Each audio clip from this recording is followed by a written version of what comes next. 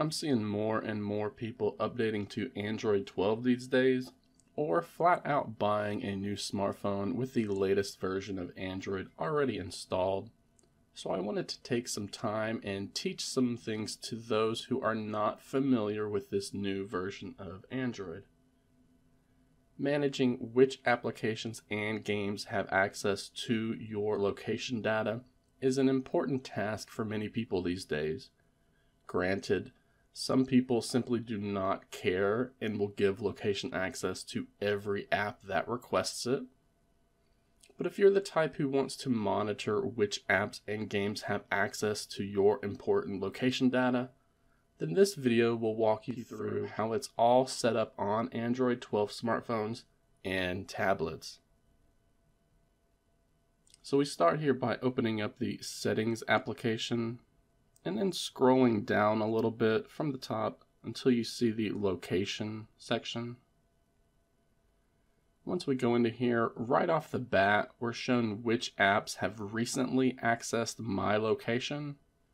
Now this can be a bit tricky if you aren't reading the whole screen, so just be aware that on Android 12, you're likely going to need to go a step further from here by tapping on the app location permissions option, if you want to see every regular application and game that has access to your data, since we're only showing the recent access right here. So here we have all of the applications that have access or that can access my location data. And if we want, we can go through each of these applications in the list and deny access to our location data. Now, if we don't want to flat out deny location access, we can choose the ask every time option if we want the app to prompt us each time it wants access to our location data. Or we can simply block access right here by selecting the don't allow option and then confirming that right there.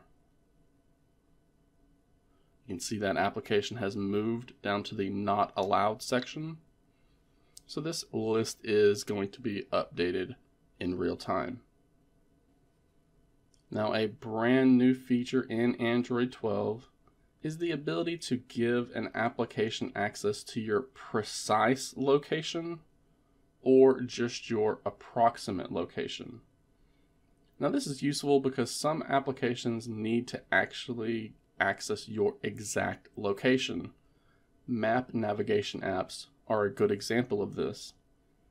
However, then there are other apps that only really need to know about where you're located, not the exact location. So if we want an application to know exactly where we are, then we can make sure this precise location toggle is enabled. If we want to, we can disable this for this app. And when we do that, we're not disabling location access, we're just disabling the precise location. So now when the barometer application asks for my location, since this toggle is set to off, it will send that app my approximate location. So they don't need to, since they don't need to know exactly where I am. Now, a fair bit of warning about this precise location toggle. Since this feature is new to Android 12, any application that is not built for Android 12 has the capability of crashing if it is not prepared to work with an approximate location. Now, this isn't going to happen to all apps that are not built to Android 12, and it really is only going to be on a case by case basis, but it's just something that you should be aware of. Most apps will work fine, but again, some apps just aren't built for it. So if you blindly go into the settings and disable the precise location toggle for all of your apps, and then you notice that some apps just don't work like they used to, then it could be a result of this location data stuff. So that's how location access works in Android 12.